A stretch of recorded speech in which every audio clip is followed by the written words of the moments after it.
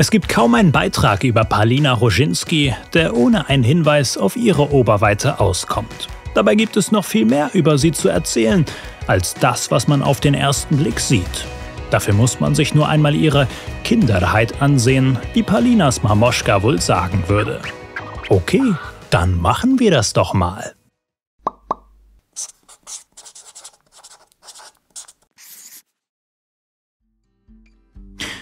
In jungen Jahren wuchs Palina in ärmlichen Verhältnissen heran.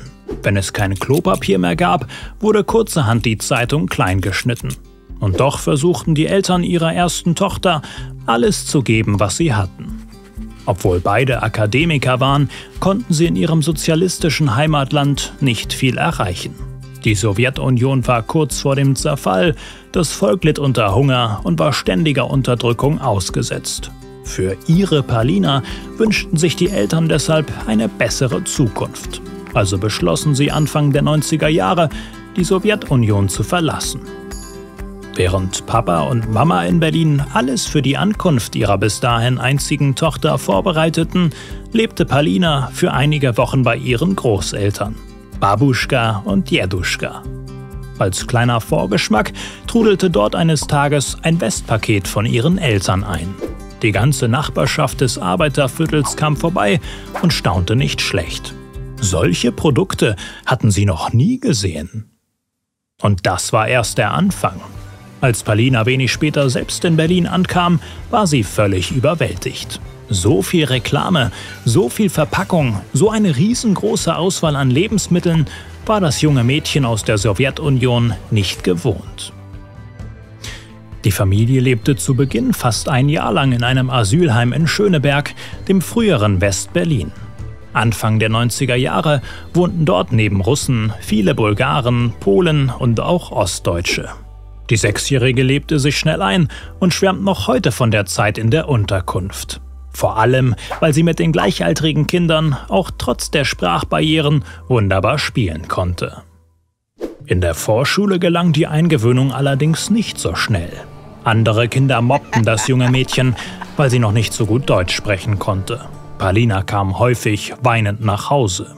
Als ihr Vater davon erfuhr, brachte er ihr Leberhaken und Karate-Kicks bei. Ich habe wirklich ein paar Watschen verteilt und dann war Ruhe, erzählt Palina heute. So lernte sie von klein auf, sich zu wehren. Palina, ein knallhartes Mädchen? Nicht nur. Beim Training der rhythmischen Sportgymnastik zeigte sie sich ganz grazil und leichtfüßig. Bereits mit vier Jahren hatte sie in Leningrad mit der Sportart begonnen. Sie liebte es zu tanzen und zu turnen.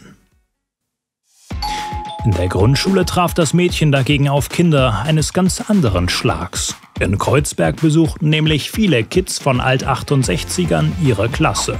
Die Hippie-Kultur ihrer Mitschüler prallte mit Palinas russischer Mentalität zusammen. Denn sich schick zu machen und weiblich zu kleiden, das habe man mit sowjetischen Wurzeln im Blut, sagt die Moderatorin. Bis heute könne es ihr Papa nicht leiden, wenn Palina Leggings und Turnschuhe trägt. In Russland wäre sie mit ihrer Art wohl eher ein Mann, sagt sie, weil sie sich nicht gern unterordnet, im Auto am liebsten selbst am Steuer sitzt und einen jüngeren Freund hat. Gleichzeitig aber legt sie großen Wert auf ihr Äußeres, zeigt sich gern als Vollblutfrau und wünscht sich, dass der Mann mal den ersten Schritt macht. Deswegen würde sie auch hierzulande oft abgestempelt. Tritt man selbstbewusst auf und hat seinen eigenen Kopf, ist man gleich Feministin. Sieht man gern gut aus und hat Spaß, ist man das oberflächliche Girlie. Palina möchte beides sein dürfen, das wollte sie auch schon als Kind. Ihr Berufsziel sollte dann irgendwann tatsächlich einmal die rhythmische Sportgymnastik werden, weil sie so talentiert war und große Freude daran hatte. Ich weiß, dass es wehtun wird, ich weiß, dass ich Blut und Wasser schwitzen werde, aber das ist okay, ich kann das schaffen, war sie sich damals sicher. Also überredete sie ihre Eltern 1995 auf ein Sportinternat in die Nähe von Stuttgart wechseln zu dürfen. Hier trainierte Palina hart, Schule, Mittagessen, Training bis abends, allein eineinhalb Stunden Ballett täglich, was sie überhaupt nicht mochte. Aber die Notwendigkeit habe ich verstanden, sagt sie heute.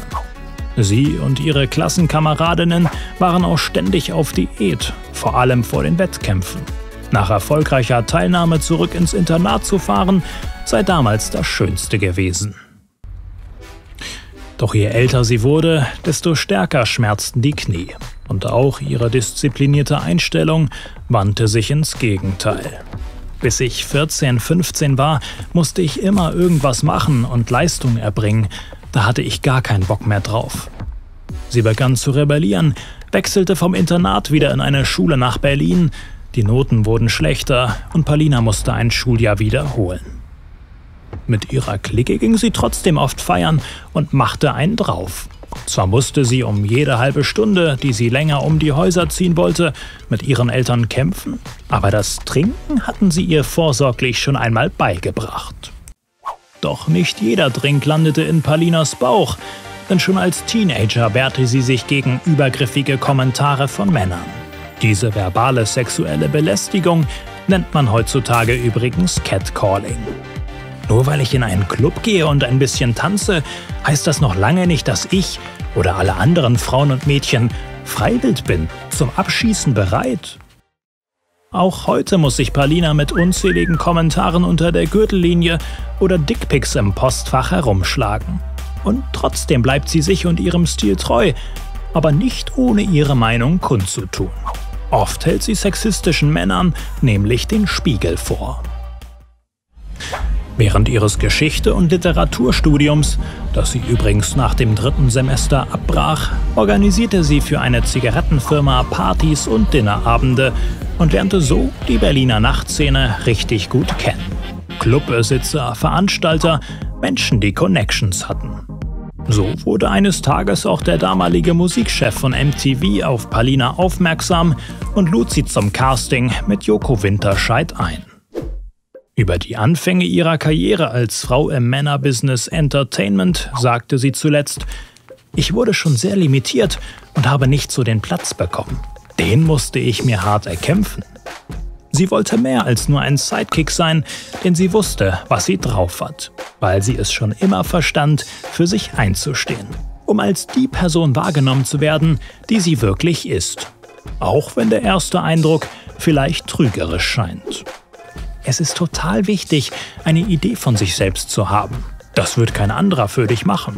Und wenn es ein anderer für dich macht, dann ist das meistens nicht wahrhaftig und hundertprozentig, weil jeder etwas anderes in dir sieht. Den Weg einer weiteren Frau, die sich übrigens auch in einer Männerdomäne behaupten musste, stellen wir euch hier vor. Und eine knackige Diskussion über Sexismus und Flirts gibt es hier. Bis zur nächsten Inspiration. Der Biograf.